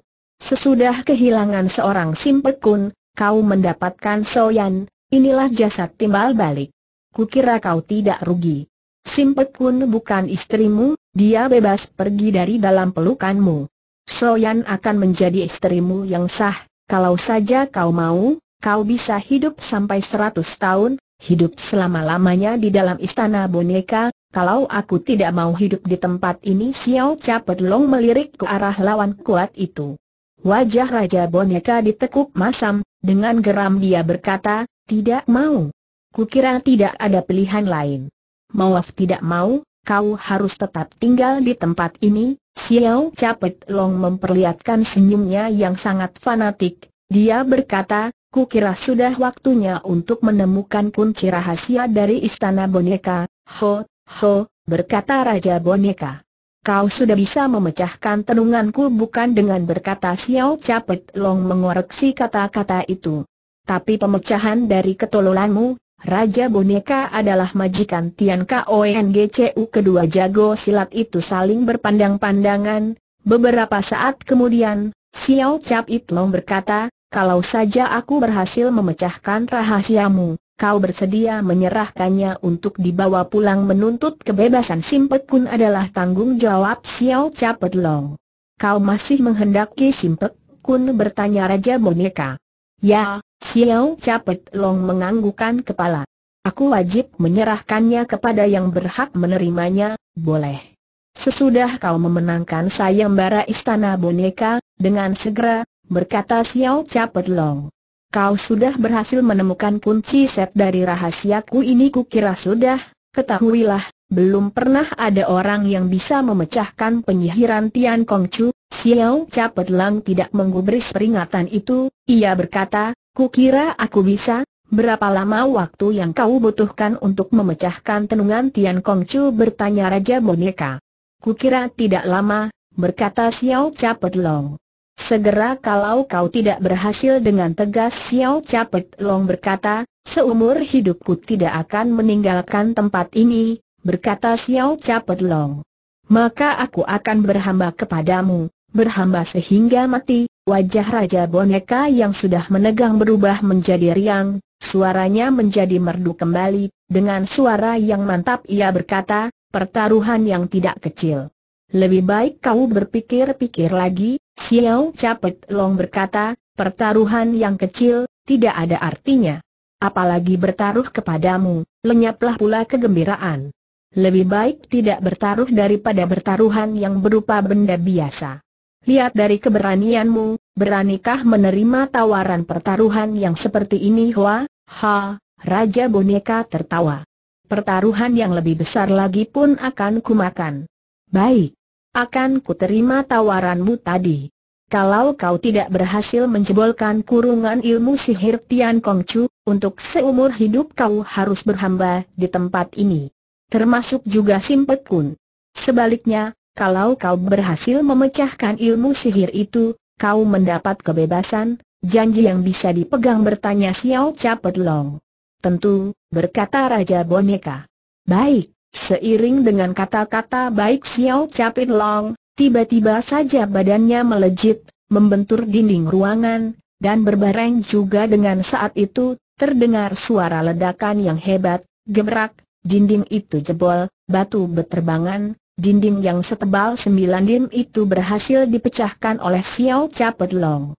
Gerakan Xiao Capit Long sangat gesit dan cekatan, begitu dinding itu pecah bolong, tubuhnya melejit, dia berpindah ke lain ruangan, berpindah ke tempat ruangan yang berada di sebelah. Ruangan apakah yang berada di sebelah ruangan Xiao Capet Long?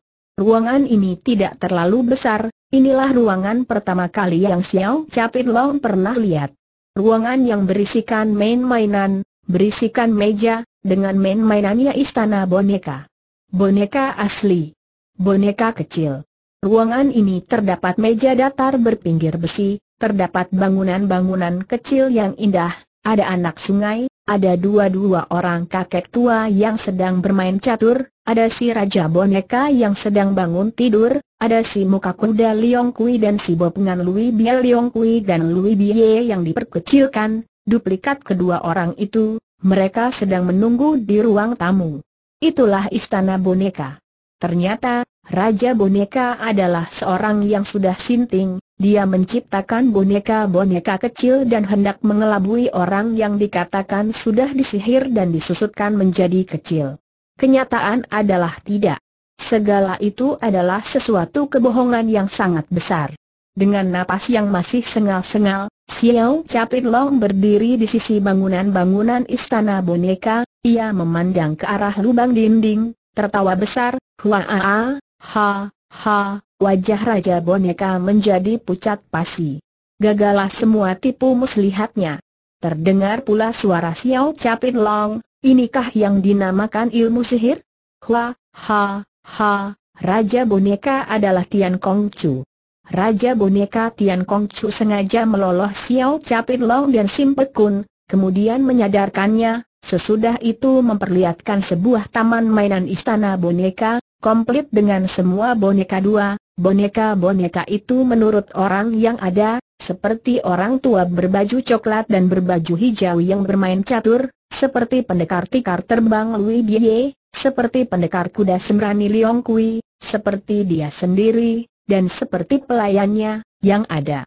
Sengaja memperlihatkan mainan-mainan dan boneka-boneka itu kepada Xiao Capit Long, Sesudah itu menitahkan syok-syok memberi obat tidur kepada Xiao Capit Long. Sesudah Xiao Capit Long dan Simpek pun siuman, mereka berada di dalam istana boneka yang telah diperbesar, sebuah istana boneka asli. Bukan boneka mainan. Tian Kongcu menciptakan diri sendiri sebagai raja boneka. Tian Kongcu hendak mempermainkan orang. Apa perasaan seseorang, manakala merasakan dirinya sudah susut menjadi sesuatu boneka hidup. Pasti tertekan. Pasti tidak mempunyai harapan hidup. Sesudah itu, Raja Boneka Tian Kongcu mempermainkan orang-orang itu, apa yang dia minta pasti tidak bisa ditolak. Hanya Xiao Capit Long yang berhasil menjebolkan permainan tipu lihai ini. Di dalam ruangan main-mainan istana boneka, Xiao Capit Long berkata, Huh, sengaja membuat anak-anakan yang seperti ini, sengaja membuat bangunan-bangunan kecil istana boneka, dan sengaja memperlihatkannya kepada kami. Sesudah itu, kau bawa diriku ke tempat ini, seolah-olah aku menjadi kecil dan kerdil, dengan anggapan sudah ditenung atau disihir, seolah-olah sudah menjadi boneka hidup, Raja Boneka Tian Kongcu tidak menjawab. Xiao Capit Long meneruskan kata-katanya, Rencanamu ini sungguh tidak masuk di akal. Memang luar biasa lihai, tentu saja tidak disangka, di dalam dunia, ada seorang gila boneka yang seperti kau. Ada seorang yang begitu gila mempermainkan manusia seperti kau ha, ha, Raja Boneka Tian Kong Chu juga tertawa. Belum pernah ada orang yang bisa mengetahui care-care ini permainanku. Dengan care-care ini, sudah banyak jago silat yang kutipu, akhirnya orang-orang itu bisa menjadi gila, atau bunuh diri, atau mengobral nafsu birahinya, dan aneka macam sesuatu yang tidak mungkin bisa disaksikan orang lain. Xiao Capet Long berkata, maka di dalam tanggapanmu, kau memiliki care terhebat, care permainan istana boneka yang luar biasa, dan kau menganggap lucu, sangat menyenangkan, jawab Raja Boneka Tian Kong Chu. Huh Xiao Capit Long mengeluarkan suara dengusan hidung. Kalau saja kau melihat wajah-wajah orang yang sudah kususutkan itu, bagaimana tidak lucu, kalau menyaksikan seseorang yang kebingungan dan ketakutan, bingung dengan cara terciptanya sebuah makhluk boneka hidup. Takut karena dirinya bisa dipermainkan oleh manusia-manusia raksasa, Raja Boneka Tian Kongcu boleh menjadi bangga dengan hasil karya ciptaan istana bonekanya. Kau adalah seorang manusia gila berkata Xiao Capet Long. Raja Boneka Tian Kongcu tidak marah, ia berkata, telah kusaksikan berpuluh-puluh jago silat, di mana dia putus harapan, tidak mempunyai pegangan hidup, menenggak arak mabuk-mabukan, bermain perempuan kalang kabutan, demikian sehingga mereka menjadi gila, kalau saja kau bisa menyaksikan adanya kejadian-kejadian ini, kau juga akan pasti tertarik, bah. Siapa yang tertarik kepada kesukaan gilamu Raja Boneka Tian Kong Chu masih meneruskan obrolannya. Untuk mencari kesenangan di dalam kesukaran, orang-orang itu tidak kenal lagi rasa malu, tidak peduli kepercayaan lagi, mereka mengobrol hawa nafsu, mengobrol segala kemauan yang ada, sehingga mereka rela menjual istri sendiri. Xiao Capet Long berkata, di dalam tanggapanmu, semua orang itu bisa disamaratakan ya, jawab Raja Boneka Tian Kong Chu. Kalau saja kau sudah saksikan keadaan mereka, maka kau bisa mengerti. Manusia itu tidak seperti apa yang kita pikirkan, kecerdikan manusia pun terbatas, manusia bisa menjadi cerdik, karena ia mempunyai harapan-harapan hidup yang gilang gemilang, tapi kecerdikan dan kecerdasan otak manusia itu akan lenyap, manakala dia mengetahui kalau dirinya itu sudah tiada guna, maka manusia itu pun betul-betul menjadi tiada guna. Lebih goblok daripada babi, lebih tolol daripada seekor keledai dan lebih sinting dari orang gila, dengan dingin Xiao Capet Long berkata, jangan lupa, kau juga termasuk salah seorang manusia, dengan keras Raja Boneka Tian Kongcu berkata, siapa yang menganggap aku manusia? Bukan. Aku adalah manusia setengah dewa. Aku adalah calon dewa Xiao Capet Long menghela napas, dia berkata, hanya seseorang yang sudah hampir mempunyai sakit ingatannya, maka dia menganggap dirinya menjadi calon dewa, Raja Boneka Tian Kong Chu memiliki ilmu silat yang tinggi, belum pernah ia menemukan tandingan. Dia memiliki kecerdasan otak yang luar biasa, belum pernah menemukan tandingan, karena itu sifat-sifatnya berubah menjadi congkak dan sombong, meremehkan dan menganggap sipil segala sesuatu. Dia telah menderita kekalahan, rahasia dengan tipu muslihat tenung-tenungan dan sihir-sihirnya itu telah digagalkan Xiao Capet Long. Tapi Tian Kong Chu masih memiliki cara yang lain, dia gila perempuan, kini dia berkata, jangan lupa, jiwamu masih berada di dalam genggamanku, hanya sekali pukul, aku kira, tidak sulit menjatuhkan dirimu. Jiwamu masih berada di dalam tanganku, jangan kau lupa kepada janji yang sudah kau lepas Xiao Capet Long memberi peringatan. Kukira aku sudah lupa. Mungkin juga betul-betul sudah lupa, berkata si Raja Boneka Tian Kong Chu. Kini dia sudah mempunyai sifat-sifat yang nakal. Xiao Capit Long tertawa dan berkata, Aku percaya, karena kau menganggap dirimu sebagai calon dewa, karena itu tidak mungkin kau menelan janji. Kalau saja seorang calon dewa bisa mengingkari janji, apa artinya calon dewa itu? Dia lebih rendah dari manusia, lebih rendah daripada orang biasa, hebat. Hebat Raja Boneka Tian Kongcu bergumam. Aku terlalu meremahkan ilmu kepandaianmu, juga memberi angka yang terlalu rendah untuk kecerdasanmu. Kau betul-betul manusia hebat, kau betul-betul cerdik. Bagaimana keadaannya bertanya Xiao Capet Long. Sudah waktunya kau memberi kebebasan, Xiao Capet Long harus meninggalkan istana boneka gila itu, dengan membawa Simpet Kun, agar Seng Ratu bisa diserahkan kepada Lian Sengpek. Raja boneka gila Tian Kong Chu hendak menyimpangkan pokok pembicaraan, dia berkata, betul-betul aku harus mengirim salut pujian kepadamu.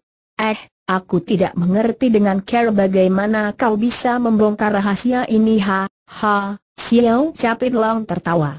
Dimisalkan aku sudah susut menjadi seorang boneka hidup, mengapa belum pernah melihat raksasa Syok Syok? Mengapa belum pernah melihat raksasa Tian Kong Chu? Dan yang lebih penting lagi, kalau betul-betul aku sudah berada di dalam istana boneka yang kecil, di dalam keadaan yang seperti ini, dari mana datangnya matahari? Mengapa membuat tembok pertahanan tinggi? Mengapa harus dikunci? Raja gila boneka Tian Kong Chu menghela napas panjang, dia harus mengakui keunggulan Xiao Capit Long, dengan nada rendah dia berkata, sudah lama aku melihat adanya kelemahan-kelemahan ini, tapi setiap orang yang sudah kusihir, pikiran mereka menjadi butek, siapa pun tidak pernah terpikir, bagaimana di dalam istana boneka masih ada matahari? Mengapa pintu harus dikunci? Mengapa bertembok tinggi? Mengapa tidak ada raksasa dan raksasi dan lain-lainnya? Maka, karena itulah, aku tidak menganggap penting lagi, Xiao Capet Long berkata, banyak sekali tokoh-tokoh diplomatik yang menganggap dirinya pandai, menganggap dia memiliki kecerdikan otak hebat.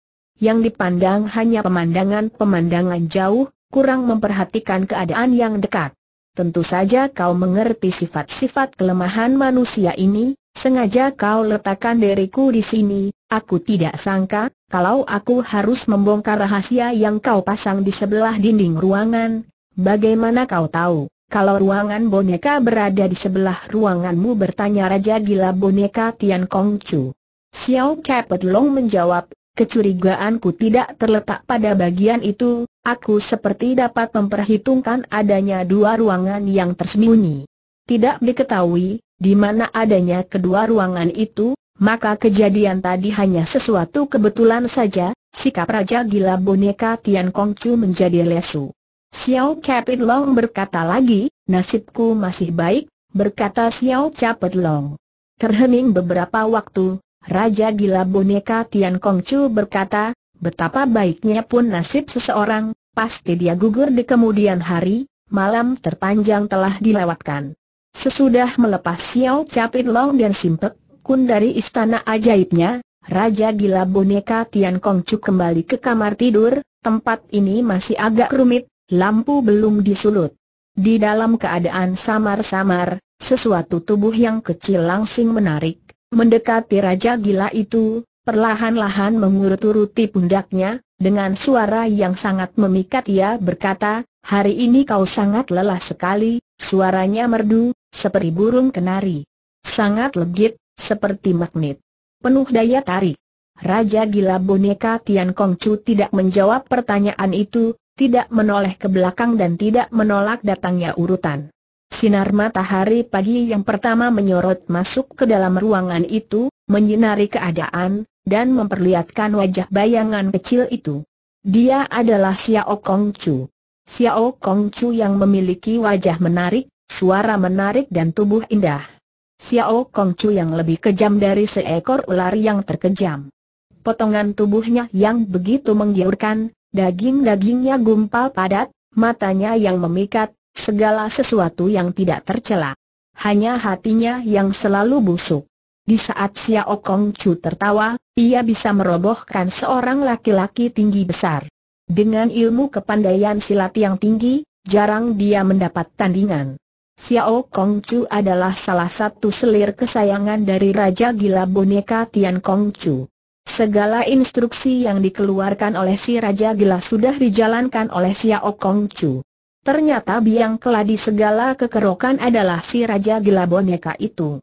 Xiao Kong Chu mengurut-urut si Raja Gila Boneka, ia hendak menyenangkan majikan yang berada di dalam kesusahan.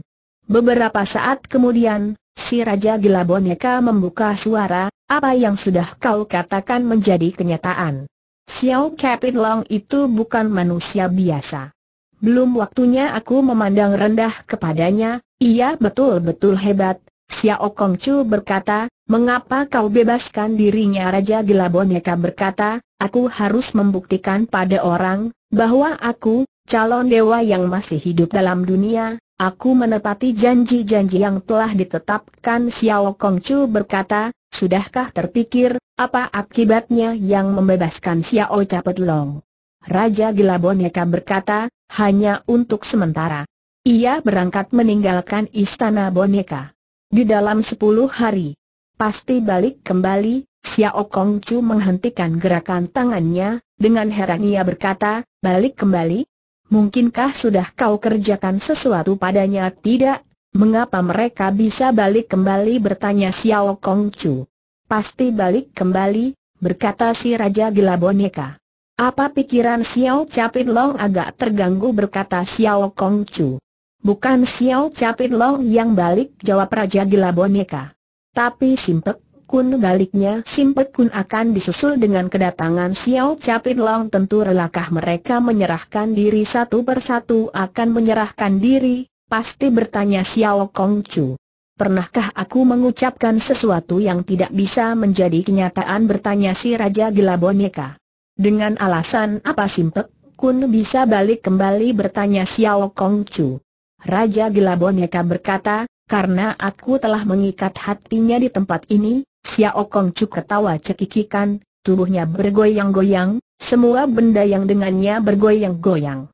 Tidak percaya bertanya si Raja Gila Boneka. Betul dua aku tidak mengerti, berkata Xiao Kong Chu. Permainan apa yang sudah kau padanya Ling Ling, kata si Raja Gila Boneka Tian Kong Chu, sebagai seorang wanita kau bisa menyelami kepribadian khas wanita. Sebetulnya sudah terpikir olehmu, Seorang laki dua yang hendak memikat wanita, apakah yang harus digunakan Xiao Kongcu bernama Ling Ling? Bagaimana usaha kita untuk mendekati wanita tanya lagi Tian Kongcu? Berusaha memberi kesan yang baik, jawab Ling Ling. Betul berkata si Raja Gila Boneka Tian Kongcu. Hanya ada dua cara untuk memantek hati seorang wanita, dua cara yang bagaimana berkata Xiao Kongcu dingin. Raja Gila Boneka Tian Kongcu berkata, care pertama, harus berusaha membuat gadis itu mencintai dirimu, care ini adalah care yang terbaik, tapi tidak mudah untuk dijalankan, dan care yang kedua bertanya Xiao Kongcu dingin. Raja Gila Boneka Tian Kongcu berkata, care yang kedua ialah harus membuat wanita itu benci padamu, seseorang yang betul dua benci, tidak bisa ia membebaskan kekangan yang menyelubungi buah pikirannya. Tidak bisa dilupakan, tidak bisa dibuang. Tidak bisa dilepas dari impian pikirannya, On, dan Carrie yang kedua ini lebih mudah dipraktekkan dari Carrie yang pertama, menutup cerita Raja Boneka Tian Kong Chu. Sepasang biji mata Ling Ling terputar, ia berkata, seorang wanita yang tidak bisa jatuh cinta, lebih sulit untuk membenci, Penilaian ini salah, berkata Raja Gila Boneka. Care dua untuk mendatangkan cinta itu hanya satu macam. Tapi untuk mendatangkan kebencian, terdapat lebih dari seribu satu cara. Oh Raja Gila Boneka Tian Kongcu berkata lagi, kalau ada seseorang yang membunuh orang yang kau cintai, bagaimana perasaanmu? Mungkinkah tidak benci Xiao Kong Culing Ling menganggukkan kepalanya? Nah, Mungkinkah tidak berusaha mendekatinya? Mencari kesempatan menuntut balas sampai di sini, Xiao Kong Chu Ling baru memahami rencana Tian Kong Chu. Dia bungkam, tidak mendebatnya pula.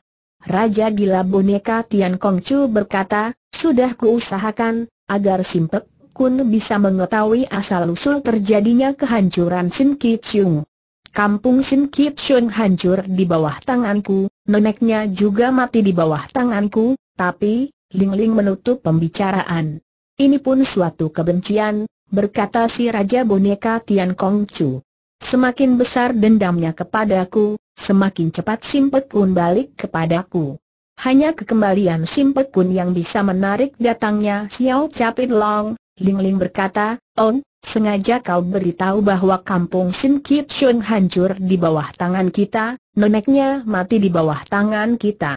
Karena itu Simpek Kun benci kepadamu, dia akan berusaha balik kembali.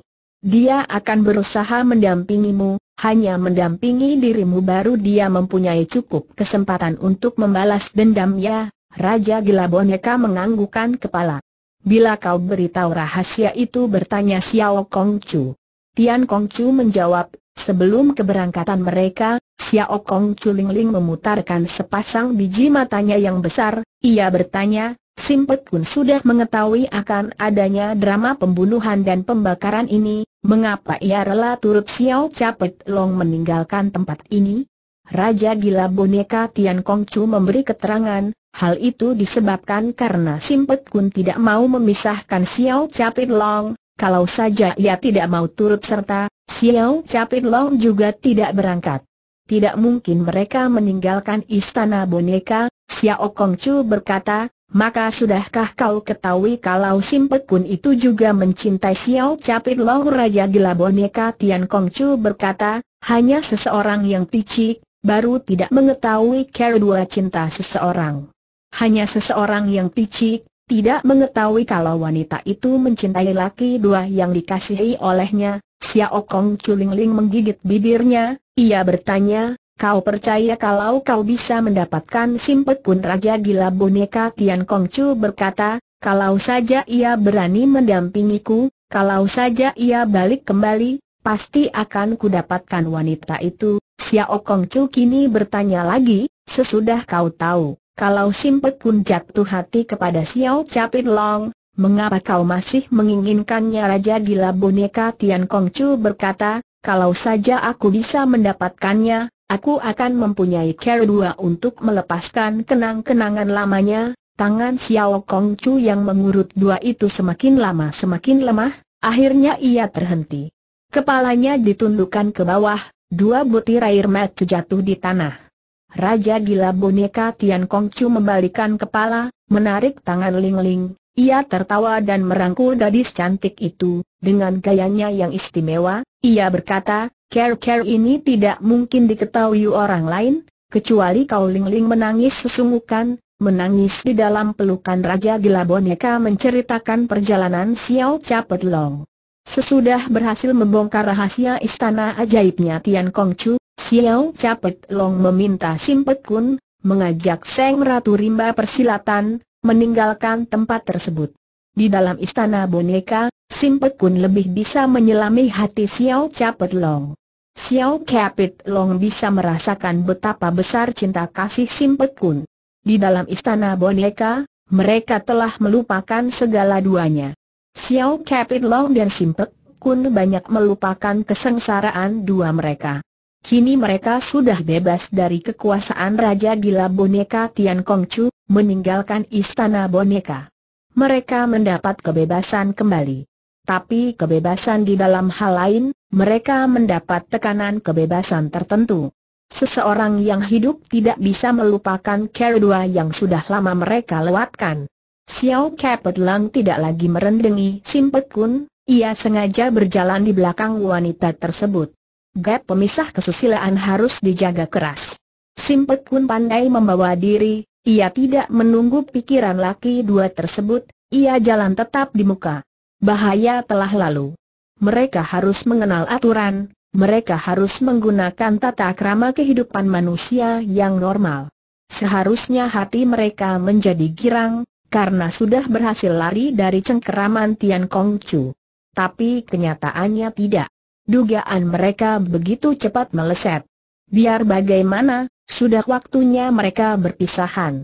Xiao Capit Long harus mengantarkan Simpet Kun ke dalam kedua pelukan suami ratu tersebut. Di saat ini, tiba-dua terdengar suara kuda yang dilarikan sangat cepat, arahnya dari belakang mereka. Xiao Capit Long sedang berpikir, bagaimana harus menarik Simpet Kun agar mereka bisa mengalahkan bahaya yang baru datang itu. Menghindar dari terjangan kereta. Di saat ini, kereta sudah berhenti di samping sisi mereka. Kereta ditarik oleh empat ekor kuda pilihan, larinya sangat cepat, berhentinya pun baik, Kereta itu berwarna hitam, dicat sangat mengkilap, suatu kereta kebesaran. Jendela kereta tersingkap, di sana muncul dua wajah misterius. Inilah kedua kakek tukang main catur. Orang tua yang berbaju coklat berkata, naiklah orang tua yang berbaju hijau juga berkata, kami mendapat tugas untuk mengantar kalian. Xiao Capet Long menjadi ragu dua, menerima hormat itu dan berkata, Terima kasih atas kebaikan Jiwi berdua.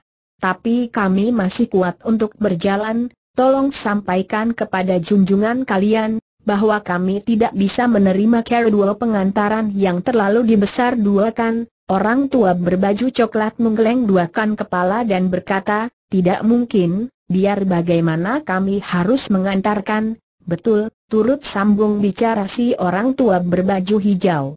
Harus diantar, mengapa bertanya Xiao Capet Long? Orang tua berbaju coklat berkata, karena kau adalah orang pertama yang bisa keluar dari dalam istana boneka dalam keadaan segar bugar, orang tua berbaju hijau berkata, karena kau adalah orang pertama yang bisa membebaskan. Kami berdua, dan wajah orang tua itu memperlihatkan sikapnya yang dingin, tapi dua pasang mata memancarkan kehangatan manusia. Kehangatan dari jago dua rimba persilatan. Untuk pertama kalinya, Xiao Capet Long bisa merasakan bahwa kedua tokoh silat tiga zaman itu betul-betul masih hidup.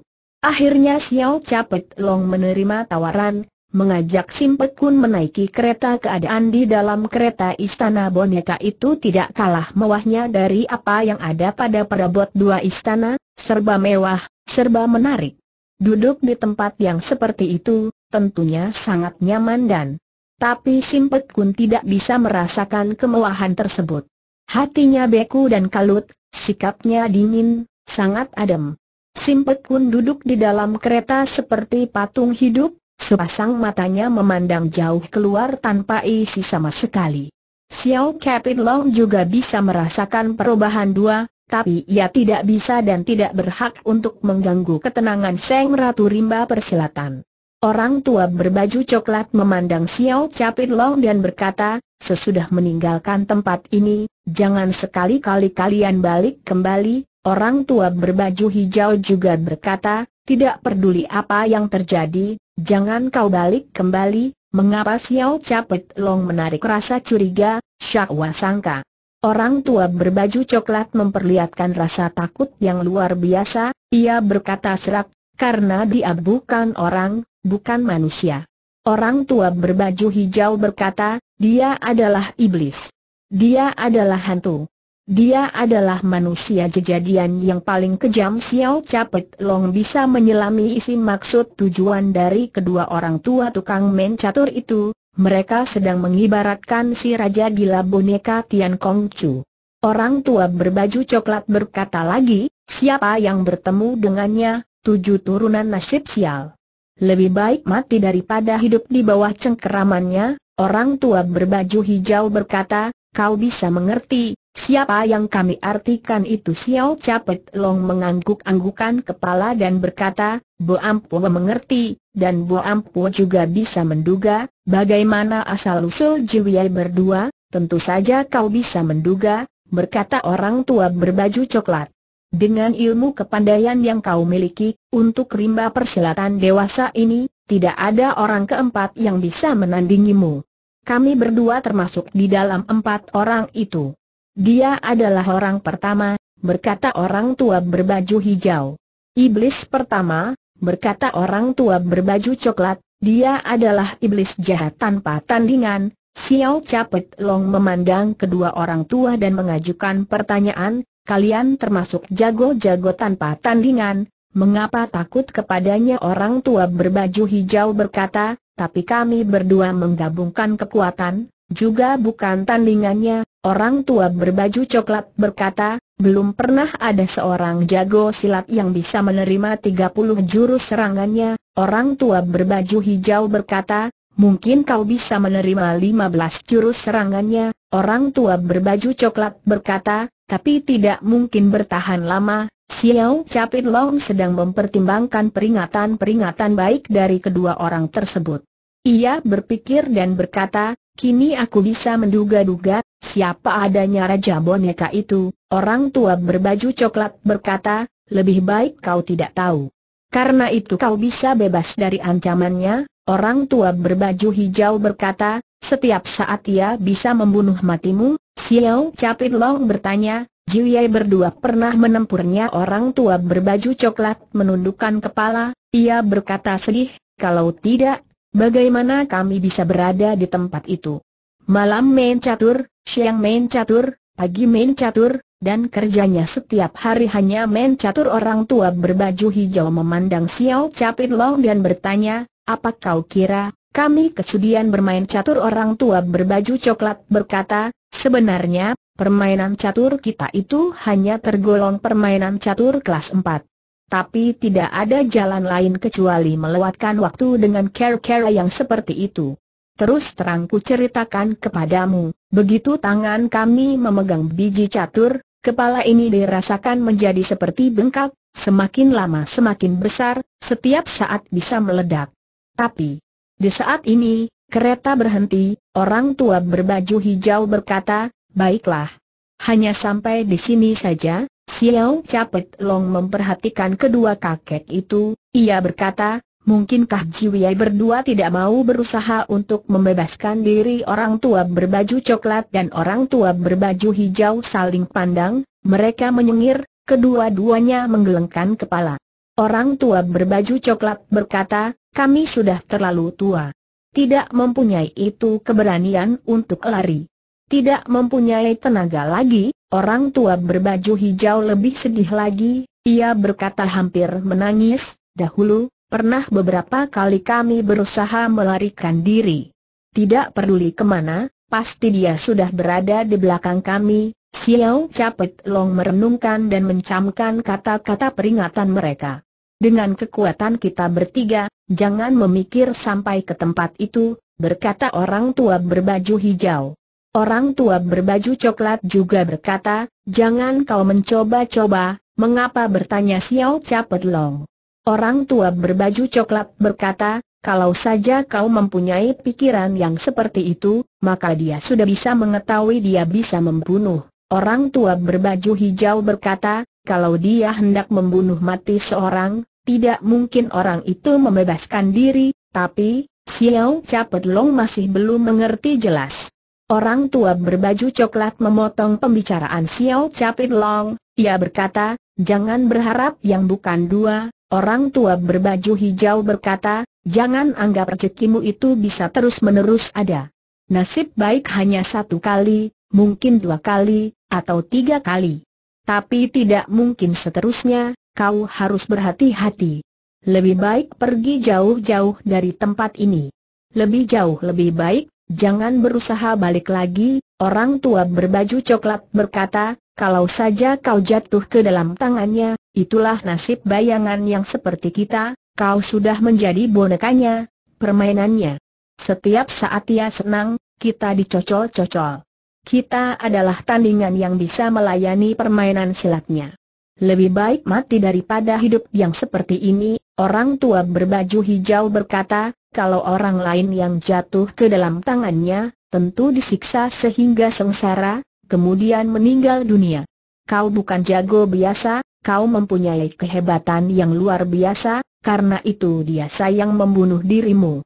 Seperti sayang juga menamatkan riwayat hidup kami berdua, setiap saat dikala ia senang hati, setiap waktu dia gatal tangan, kita berdua yang bisa dijadikan pertandingan ilmu silat, orang tua berbaju coklat berkata, dengan adanya kami berdua yang memberi pelayanan bertahan, sedikit banyak bisa menggembirakannya, Orang tua berbaju hijau berkata, karena itu, kami anjurkan, jangan mengikuti jejak langkah kita. Jangan sampai dijadikan permainan olehnya. Itu waktu, mati susah, hidup pun susah. Kami berdua adalah bayangannya, orang tua berbaju coklat jauh memandang ke arah istana boneka, ia berkata, kami sudah tua, tiga zaman sudah dilewatkan. Tidak bisa hidup lama lagi, Sesudah kematian kita, mana mungkin dia menemukan tandingan baru. Karena itu, pasti dia kesepian, orang tua berbaju hijau berkata, kalau dia sudah kesepian, dia mencari jago silat terkuat.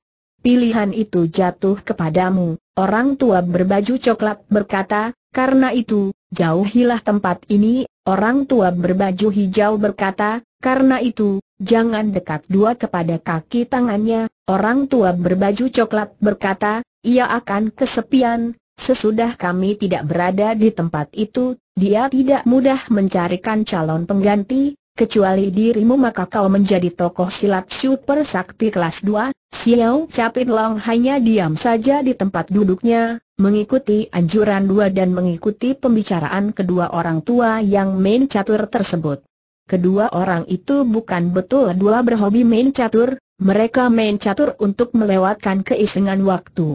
Mereka adalah boneka-boneka hidup si Raja Gila boneka Tian Kongcu, untuk menandingi permainan silatnya yang begitu hebat dan tinggi. Xiao Capit Long mengajak Simpet Kun keluar dari kereta itu. Orang tua berbaju coklat berkata, lekas. Lekas pergi. Pergilah yang jauh dari tempat ini, orang tua berbaju hijau berkata, kalau saja kau balik kembali, dimisalkan dia tidak membunuh dirimu, kami berdua juga bisa mengambil jiwamu.